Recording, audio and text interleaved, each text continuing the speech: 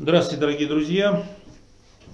Мы продолжаем беседу о России на пороге революции. Действительно ли она на пороге революции? Гость, сегодняшний гость был, как и в прошлый раз, доктор исторических наук, профессор РГУ Юрий Гераськин, Юрий Аминович.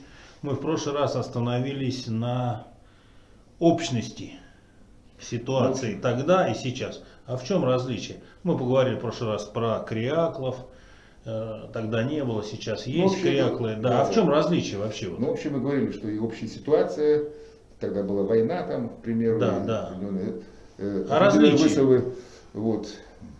Ну, различие в том, что... Не, ну давайте так, давайте сначала чуть-чуть напомним вот этот тезисно, что общего.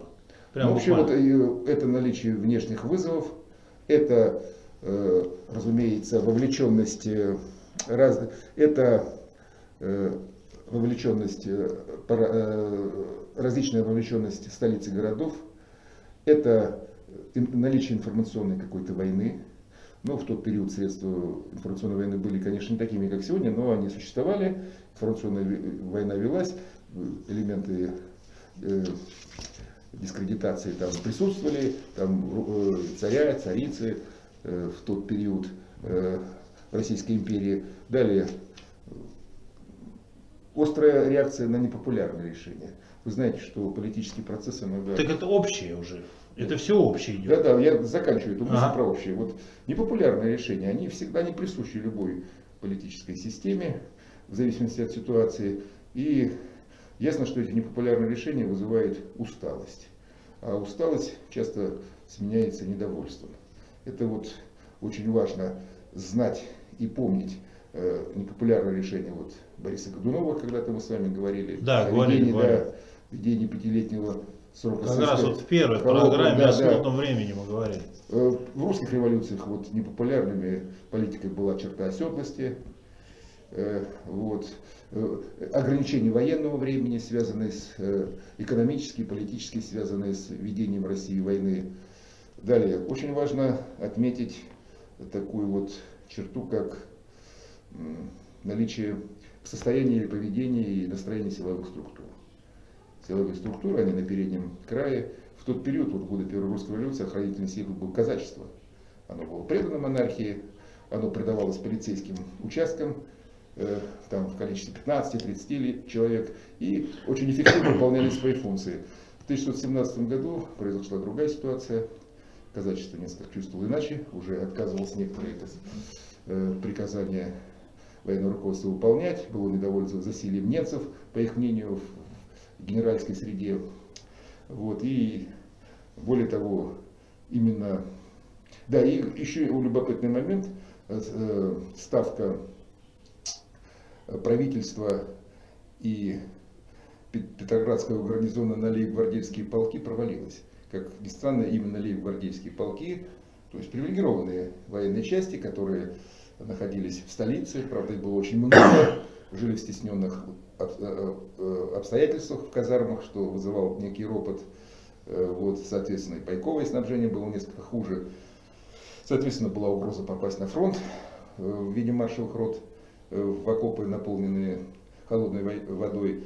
Вот здесь вот произошла осечка, вот, в вот Волынский лейб-гвардейский полк, фельдфебель Тимофей Кирпичников, он первым Э, приказал стрелять поверх голов э, митингующих, а затем э, то ли сам, то ли с помощью солдат убил командующего воинским подразделением офицера.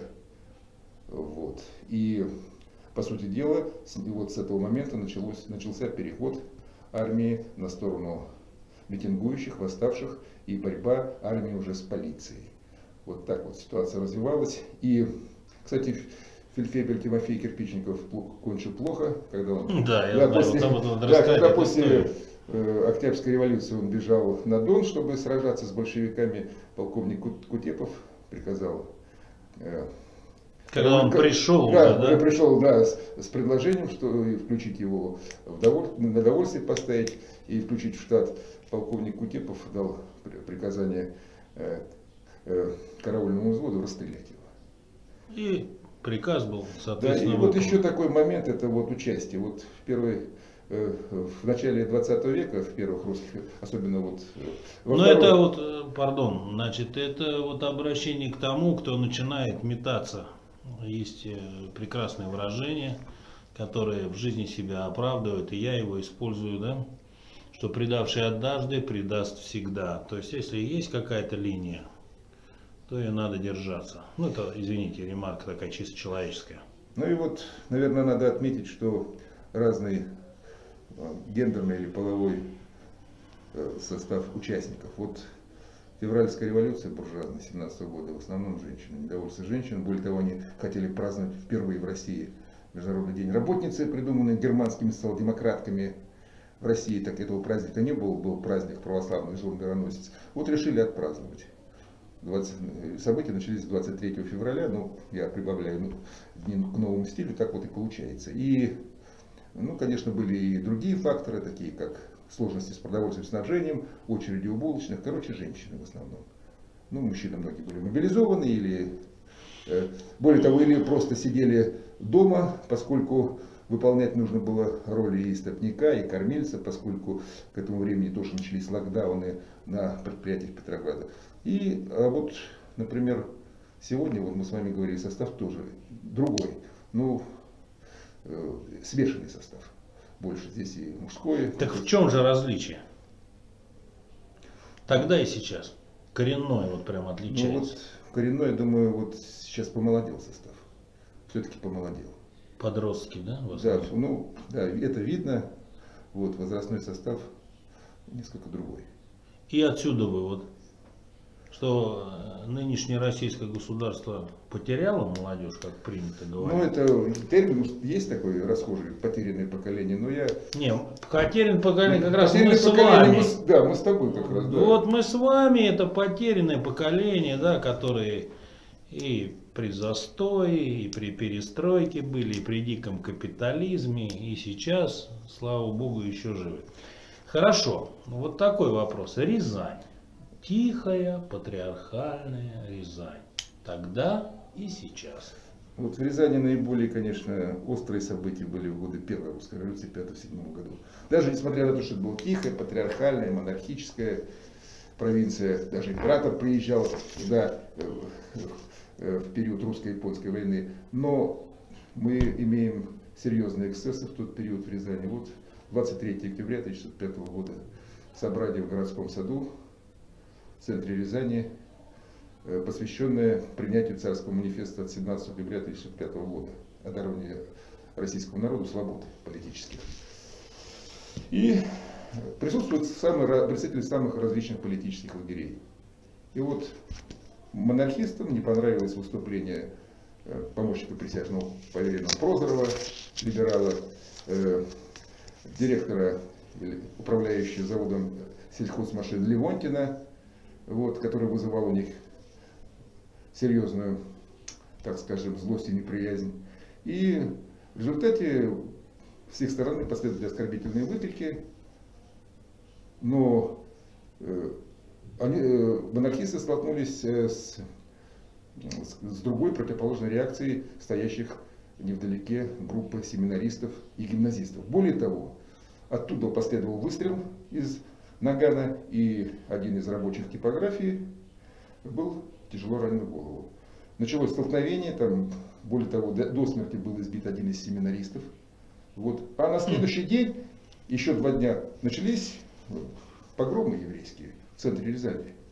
И с помощью только э, э, как раз подразделения казаков удалось рассеять погромщиков, э, которые шли с рогами, шли с портретами Николая II, царя, и к ним, ес- естественно, примазывались криминальные элементы, которые осуществляли в ходе этих погромов грабеж торговых лавок на улице там, Почтовой, Соборной и так далее.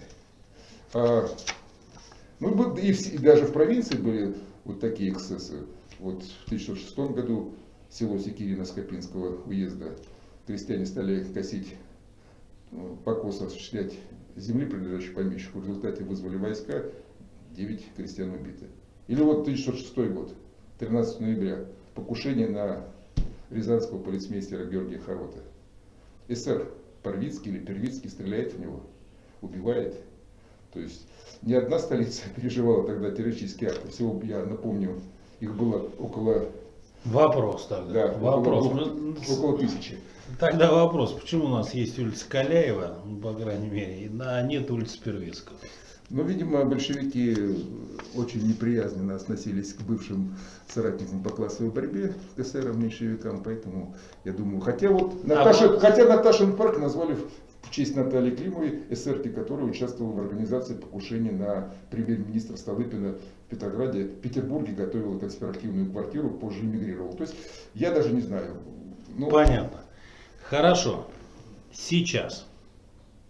Чем от, вот, э, Рязань прославилась, так сказать? Она просто вот вошла в число городов, да? То есть у нас не было никаких таких ярких Нет, акций, у нас да? этого не было, слава богу, и, собственно говоря, более... Губу разбили одному Ну, ну, правозащитнику. более, более, ну, И вот, говорят, сейчас вот Алексея Борисова, да, побили сильно. да, ну, были вот отдельные, конечно, ну, надо понимать, накал страстей, конечно, там, и, соответственно, опыта нету у этих структур, которые этим занимаются, конечно, какие-то вот эти учения, которые проводятся э, в абстрактной обстановке, это совсем другое. Э, э, Полиция, например, в сегодняшней ситуации американская, она более натаскана, а здесь... Ну, начнем с того, что я вот, э, когда фотографии смотрю, да, разгон демонстраций. Каюсь, что иногда использую, ну, для пущего эффекта, использую фотографии из Франции, из Германии. То есть там очень жестко полиция пресекает вот эти все моменты. Но нужен, видимо, гражданский все-таки лучший диалог. У нас масса переговорных площадок. Я понимаю, сейчас пандемия, но у нас созданы дискуссионные клубы, у нас созданы коворкинговые центры. Э, Почему не использовать? Хорошо, Как- вот гай- это как какие-то вот площадки. гайд-парк, Гайд-парки, ну, да. да, Ну вот гайд-парк это же нужен. реальная возможность для диалога. Э, Это программные требования, это возможные уступки. Не без этого, понимаете, это элементы, в общем-то, классической Не, ну, диалог возможен, Да, должен ну, вполне быть, реально он должен да. быть, конечно же. Вот, и э, здесь, конечно, есть и определенные ненаработки со стороны, думаю, и власти.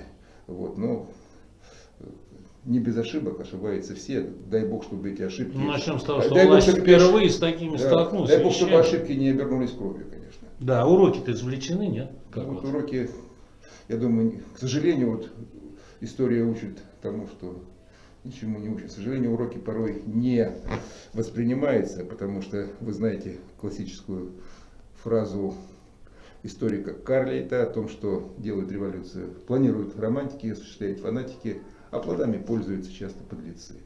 Вот, смотрите, плоды. Ленин в опломбированном вагоне, с согласия Со Генштаба, со стороны. Генштаба приезжает на финляндский вокзал, ну и начинает реализацию своих программных установок, изложенных в статьях, там, апрельских тестах и так далее. Хотя они хотели, да они вообще планировали старость встретить в нейтральной Швейцарии. Ну, Ну, вот сейчас, но сейчас же нет таких фигур, мне кажется, масштаба Ленина. Я не Или, или есть, но они глубоко Почему? законспирированы. по крайней мере, Или не высовываются, что ли, как. Ну почему? Ну вот Алексей Навальный, тоже, по крайней мере, претендует на такую фигуру. Ну, фигуру- Алексей Навальный, начнем с того, что он не, на- ну, он не написал такие труды программные лично, как написал Ну, может, Ленин. ну, может быть и так, конечно, но его политическая деятельность, тем не менее, вот сейчас находится, как говорят, в топе. Вот. Процесс идет. И более Ну, того, может быть, вот как я представитель СМИ вопрос задам, может быть, есть такой термин, да, его специально раскручивают. Я не знаю, ну, любой политик имеет имиджмейкеров, виза- визажистов, это как бы... Ну, есть какой-то медиаплан, по которому его это- двигают, вот, да, это же то все там классика. отравили, из него делают икону мученика. В России всегда любят, вот тоже, наверное, общее, да? Ну, в да. России всегда любили мучеников. Ну, понятно, что так, и мучеников, и новомучеников, не без этого. Но я бы не стал вот так вот давать оценки, как бы, и думаю, оценки, Хранение, я не оценки даю, преждевременные, мы просто, все-таки мы просто Да, рассуждаем. история да? должна Еще такой вот момент, вот такой момент интересный, но это уже не в этой программе. Э, Вы сейчас со мной согласитесь или нет? Семинария «Рассадник революции». Ну, это Иосиф. Джугашвили из семинарий. Ну, там я, может, я Ну, примитивизирую. Георгий Гапон, это же Да, да, это да. классика жанра. Может быть, мы как-то все-таки у вас специализация церковная история, мы проследим этот момент? Ну, вполне это реально. Ну вот самое главное, на мой взгляд, урок, знаете, какие, что вот часто бывает обманутые ожидания, там есть лишняя эйфория, вот потом разочарование, поиск врагов, там враждебность. Не, вот это надо как раз акцентировать Ну, на конечно, это да. внимание. Ну вот помните, там Пасху праздновали в семнадцатом году, Христос воскресе, ответ какой? Россия, Россия свободна. Да, Россия свобода. Ну, о чем говорить?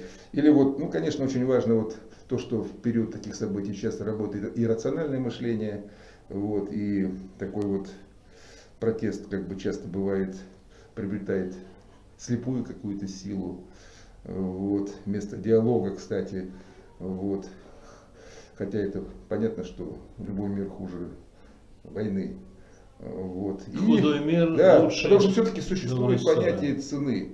Цены, а Цены ц- вопроса. Цена вопроса, цена вопроса это страна, по большому счету. Вот, даже не политический режим, а все-таки страна. Вот, Поэтому цена, вы помните цена, какую, какую цену мы заплатили за революцию. Да, появилось новое государство, но... как- Ну, а реки крови. но, да, да, все-таки человеческая личность была полностью минимизирована. Порабощена. а в как 91 личность. году рухнул Советский Союз, геополитическое огромное пространство. То есть цена – это вопрос достаточно серьезный, и о нем нужно помнить. Спасибо. Но в этом в следующих программах. С вами была программа «Параллели». Доктор исторических наук профессор Юрий Гераськин. Всего доброго. До встречи.